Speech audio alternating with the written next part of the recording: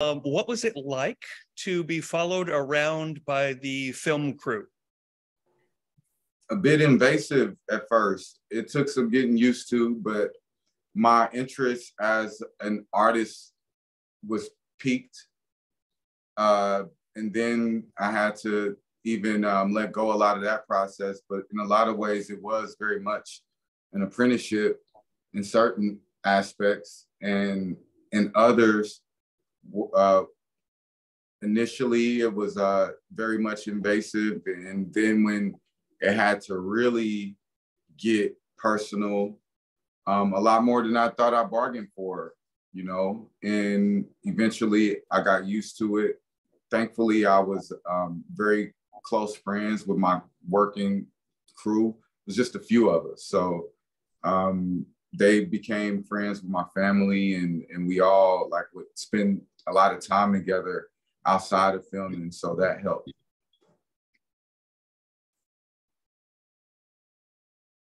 And um, again, on a little bit of a lighter note, um, toward the end of the movie, you mentioned something that maybe will elicited this question.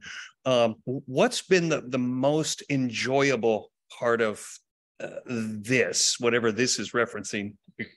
Your story is quite large, but what's been one of the the uh, the funnest uh, parts about this? I say I say like being able to stand in front of the ma- masterpiece paintings of the world. It's like porn for me, if I'm being honest. Like th- that stuff is. I'm like a, a kid in the candy store when I'm able to go to just about any museum in our country because it's always something there. But um, especially some of the the museums in Europe and um, being able to really go study and use this as an opportunity to uh, to learn, which honestly, learning is just fun to me. I've always liked learning. Love that. Uh, well, I'm going to give the driver's seat back to uh, Sadie here. Thanks. I love that. Kid in the candy store. That's a great image. I love it. Um, if anyone else has a question. Yeah, yeah, yeah, please. We have one more from an in-person audience member. Is it unmuted? Hi, George. Um, Hi. my name is Quinn, and you're funny. um, thank you for sharing your story. Um, some like some of the thoughts I had was like, what a heavy burden that you bear to navigate to be one of the first to navigate the world of fine art in the way that you do. Like speaking about the Eurocentricity of it all. So also, you know, thank you for that. But um my question for you was like I n- noticed that you love education and so I'm like are there any other subjects or philosophies besides art that um you've studied or you have an interest in um whether or not they influence your art but I'm very curious. Hmm.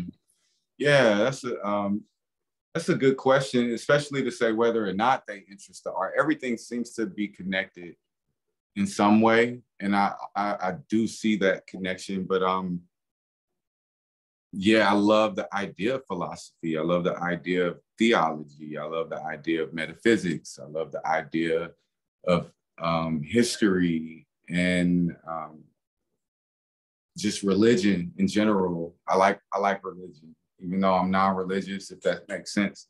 Just like kind of the intent of it, um, the goal of it, maybe I'd say. Um, but art definitely has been more of my religion these days. But I like, I like, I like, I kind of like that. If I weren't doing this, I, I'd somehow be involved with some like on some religious level. I love music as well, um, writing.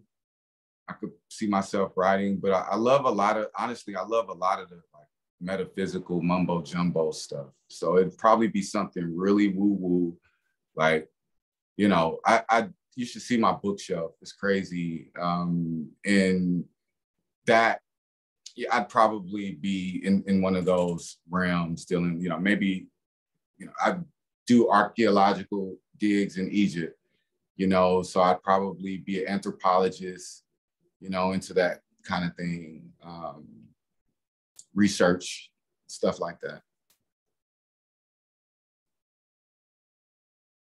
Awesome. Um, yeah, good luck. You will be in the museums forever remembered with Rembrandt. So thank you.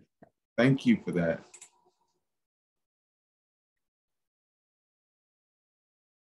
Thank you. Uh, it looks like we have one more question from uh, an online audience member. Go ahead. Um, I'm seeing Nani.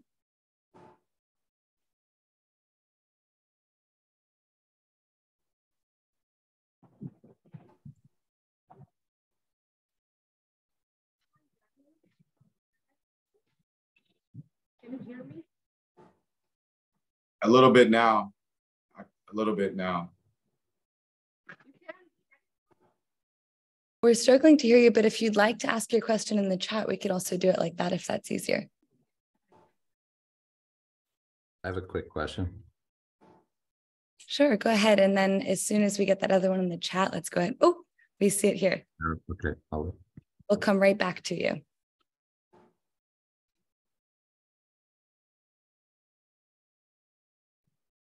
Uh, the question in the chat says, Hi, Daniel. Hi, George. My name is Nayani, and if I'm pronouncing your name wrong, please let me know. I'm a researcher trying to study arts in prisons in California and India. Being located in Calcutta, India, I could not watch your documentary, but would really like not missing out on it. In the recent future, is there any way that it can be aired online internationally? Um, I'm not sure if you're able to access it on HBO, but it is currently streaming. Um, and I guess, Daniel, that might be a question for you. Are there any plans to move this impact campaign to an international scope? And if it already is uh, being received internationally, sort of who's on the other end of that? It's a good question. I hope, uh, Nayani, if I'm pronouncing it correctly, I hope that you're able to see it on HBO. As far as the impact campaign, unfortunately, the US prison system is the worst in the entire world. And so our focus continues to be the U.S. prison system. But um, I hope that through HBO you're able to to see uh, the documentary because it's incredible, it's award winning, and it's incredibly heartfelt. So I'm not sure if you're able to. You know, I'm I'm not part of the film team in terms of the rights for the film, but um, hopefully through HBO you'll be able to watch it. And if you're not, I apologize, and I hope it becomes available more broadly in the near future. It's something I can also check in on for you, and I can email you when I have an answer for you. Um, uh, Paul, I think you were about to say something. Go ahead. Uh, thanks, Sadie. Um, first of all, uh, I just want to say that that movie was incredibly powerful, um, and uh, the the poise and wisdom uh, that you were sharing, and it I I I think is going to resonate deeply with anybody who who you know spends the time to watch that movie.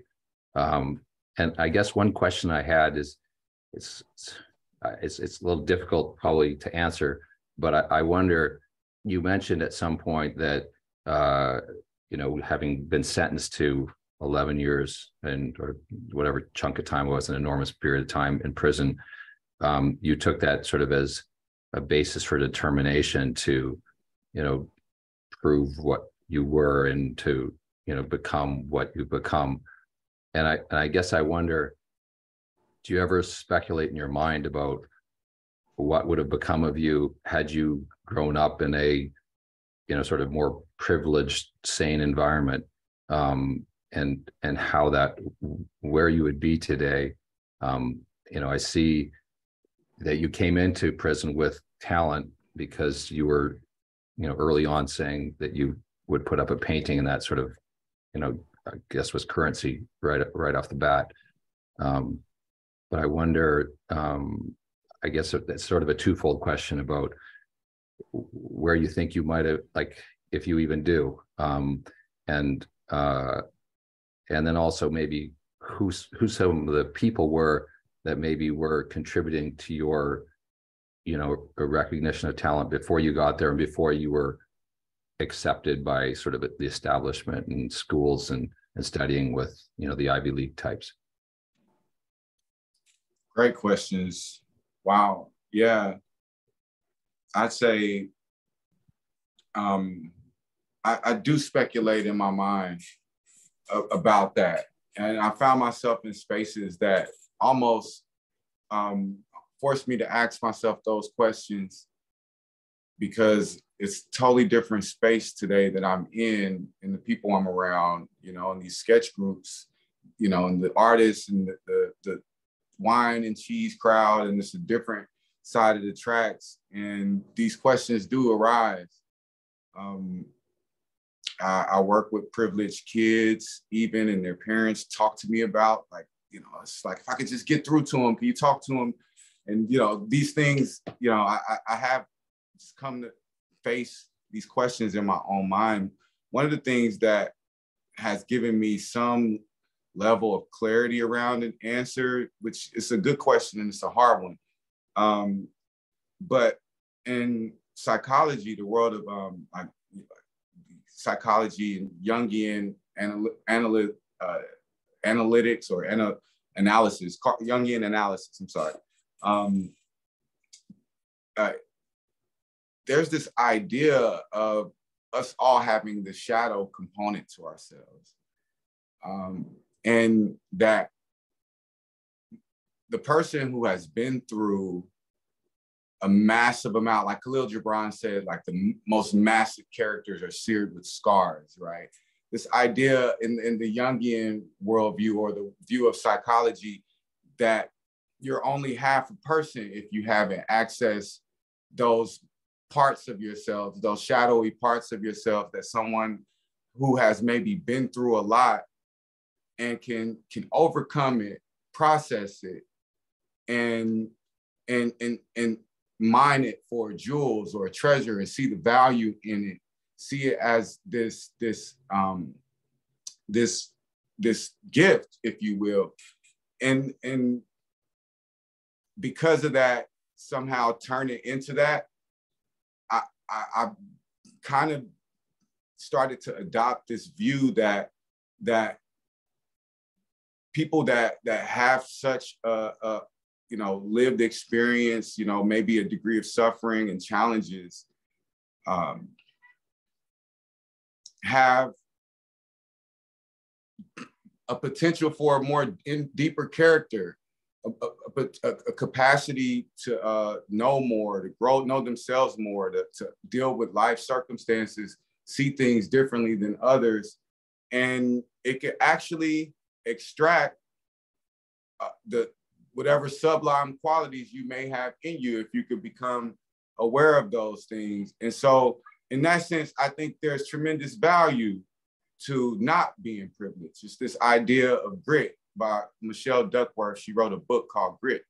And um, my privileged friend, Natalie, whose son is apprenticing with me, and my nephew, Trayshawn, who's in the film, he's, he's they're, they're here with me for the summer or he's coming home for the summer. He goes to boarding school, super privileged kid, like great kid too.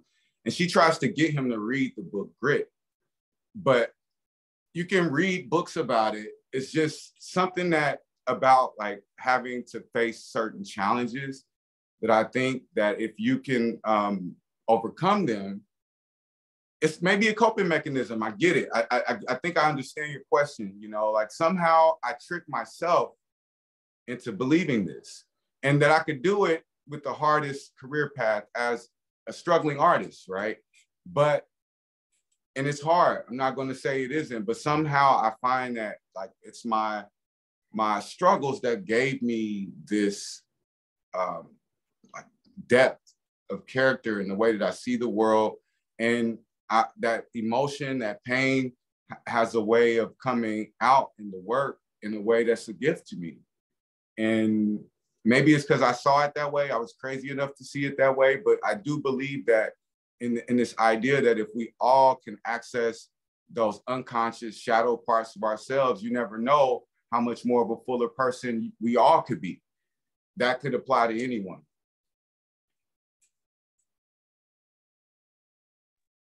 Thanks. I hope that makes sense. It does. Yeah. Thank you. Thank you. It's a it's a beautiful answer and it and it rings true. Um We have time for a couple last questions. We have um, a couple more from our in-person audience here.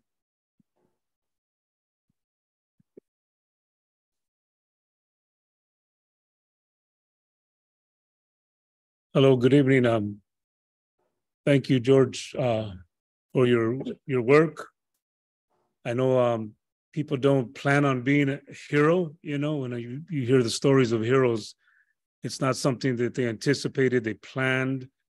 Um, some people say it's the being at the right place at the right time. You know, but your story of of, of pain and suffering, uh, you became that that candidate. You know, so just hearing your journey is is a very heroic heroic you know in, in, in what you're doing and just uh, appreciate that and in the and in the area of the family dynamics george i i, I know you're you have probably a lot of directions that you're going in but uh, in the future if you happen to do anything in regards to um, closure as far as with uh, uh, parents that have been involved in, in, in drug use you know uh, what I'm trying to say is I got mommy issues and daddy issues. You know what I mean?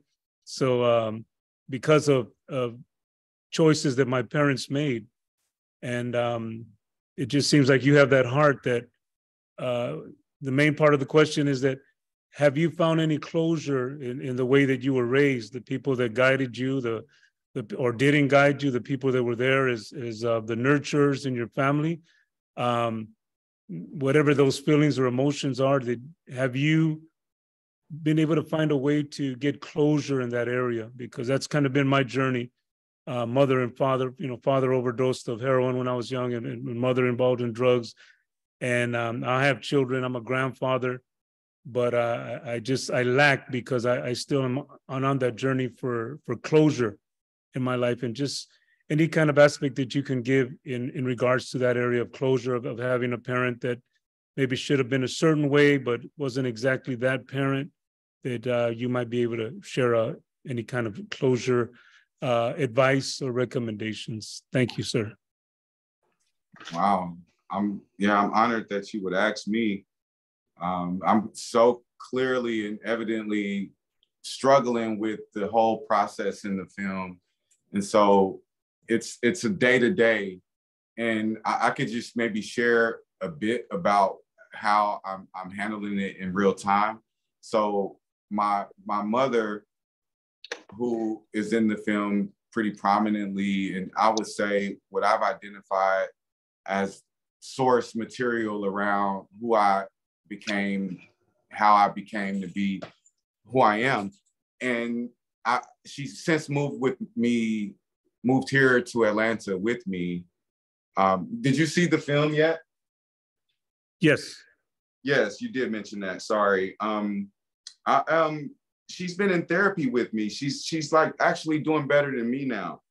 And in the film, you can maybe see her um, um, struggling with just barely able to speak.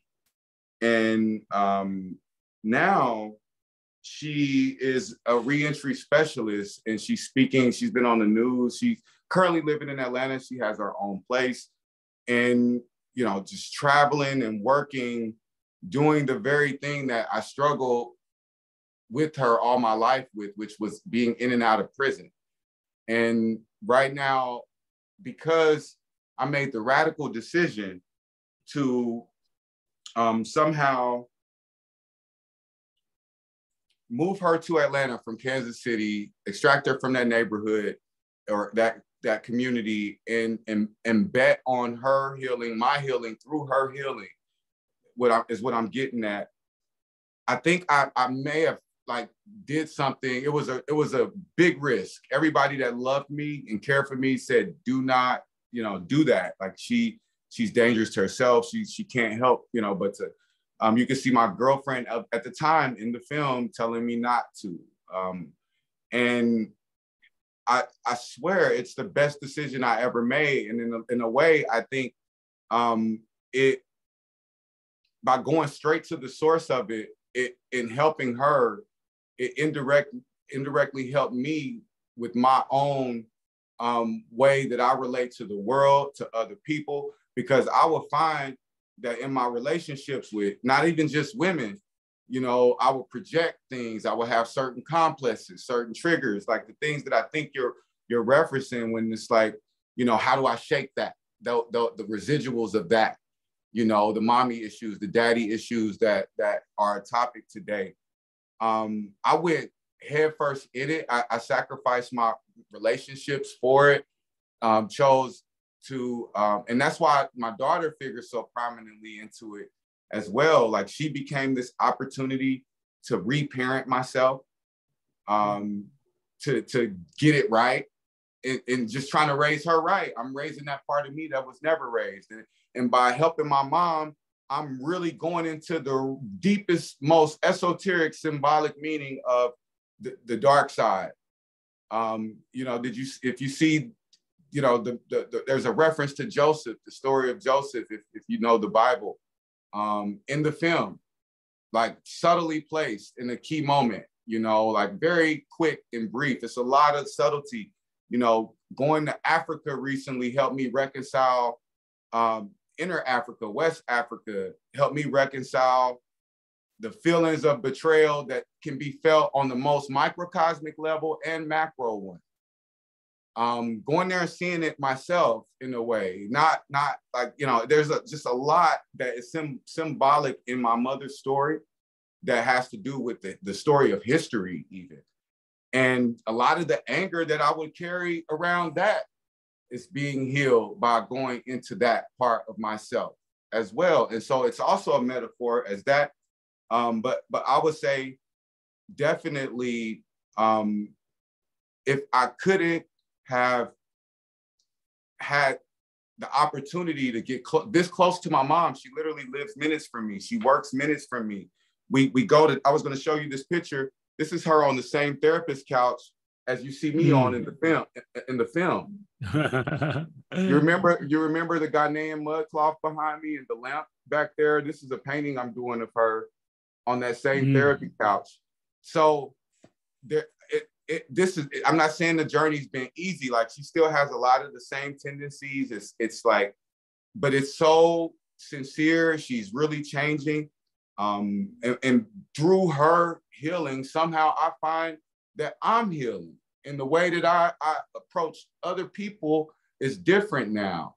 Not and not just my relationships just the expectations i have of others the things i would project on other people um, the little boy in me being crushed and feeling rejected at the least slightest thing. You know, I see where it comes from now. And so there's like this opportunity to look at the thing.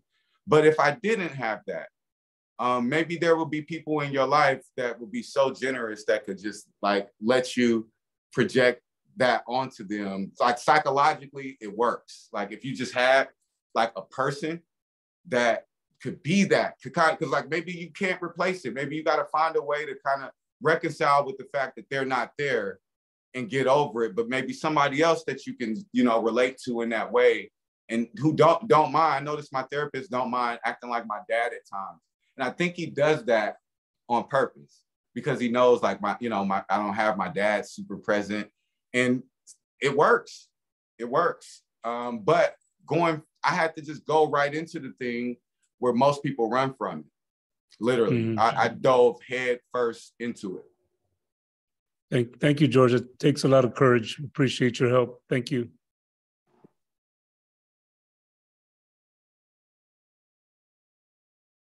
Man, I, I so appreciate um, everyone's vulnerability and being real about what it takes to get through this because it's yeah it's beautiful to come out on the other side of it but it's it's just really hard when you're in the middle of it. So I I really appreciate um, and applaud your your your your bravery and your candor and sharing that with us. Um, we have one last question here, and then I'd love to wrap things up because I know things are running late. Um, and again, we really appreciate your time with us here tonight, especially as I know that you know you two are on the East Coast and probably super ready for an eight-hour-long nap right now. Um, so I'll wrap things up here. Hello. Um, I, I have um, a question about uh, the art itself, and thank you very much for the opportunity to uh, to experience this story. My familiarity with your art is is pretty much exclusively through the film. Um, and one thing I noticed, you know, it's it very much in this the classical style, um, and the backgrounds tend to be very abstracted, like a, a Rembrandt. You know, it's it's uh, tends to be. And I was wondering, if, in terms of your aesthetic interests, um, if you had any interest in reflecting uh, the specificity of, of some of the environments that we saw in the film. I think one of the things I thought the film did a really good job of was capturing uh, the environment with a great deal of specificity, and it felt like uh, a strong character in the film. You know, rather than like putting you in these abstract places when you're talking, you know, you see it it can be on a shabby La-Z-Boy, uh, but there's still Rembrandt lighting in the scene. And I noticed um, there are a number of shots that that very powerfully seem to capture um, that that environment. And I was wondering if you have any aesthetic interest in reflecting that in in your work, because it seems like it's a very important part of uh, of what uh, is there, or if you're more interested in making the portrait seem just timeless or out of time. Great question. No, I, I, I see it all as a portrait of me or the person, whether their physical body is maybe in the composition or not. An empty La-Z-Boy is suggestive of that per- the personality, the character, and it's very much a portrait of the person. The tradition that I, I study and and I've I've only had the great fortune to maybe just kind of study, make studies and like play around. I haven't even gotten started as much. And and it's been classified as art already. And that's like really a privilege, honestly. But um no, I like in terms of my aspiration, it just has to do with the visible world, the whole visible world. And, and yes, it can be a portrait of many things, just told, you know, the crumple a crumpling leaf could tell the story of life and death in my in my opinion.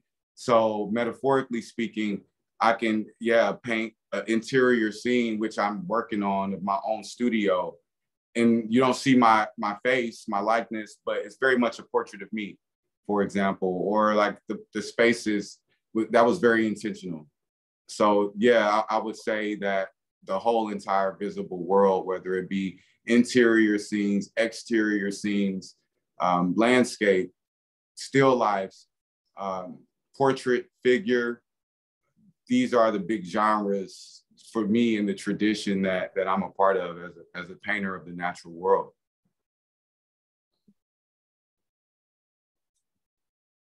One of the, one of the things I think is really interesting about you know becoming entering into a tradition of art is that you are obviously in conversation with artists who've come before. And it's this kind of it's the, the, the dynamic of that conversation is is strange because you get to take from what they've done and be influenced by it. Uh, they don't really get to talk back in a way but but they get to ha- be first movers and first influencers. Um, in terms of being in conversation with that tradition of art um, do you do you think much about how your what what you are contributing uh, would be received by uh, by the artists who've come before who who you know are long dead? Sometimes yeah I, I, I even in my mind sometimes believe that they're like standing right behind me like i envision it when i work so very much so if i mean i i feel it at times. I don't know if I'm, you know, tricking myself, but I definitely envision it like as a tactic. Like I, I kind of like use that as like a, a visionary tool sometimes. Thank you. I appreciate that in the same way that, you know, um, you and all of the rest of us artists out here are standing on the shoulders of giants. So are all of the men and women that are getting out of um, that are getting out of prison and that are looking to you and your work as a real inspiration and as a source of strength and and light. So I thank you both so much for all that you've gifted us today and for sharing the space and time and for everyone who is able to make it out here tonight as well. we're so, so, so deeply grateful for both of you and for everyone in this room and in this little square room as well. Thank all of you. It's a privilege to be here. Thank you so much. Really appreciate it. Enjoyed the conversation and um, keep following George. He's going to do amazing things that will uh, outlive the best of us. So thanks for your time today. Thank you. Yeah, please stay tuned to represent justice and Master of Light. Take care. Thanks, Sadie. Thank you, George. Thank Thank you. Daniel. Thanks, y'all. Bye.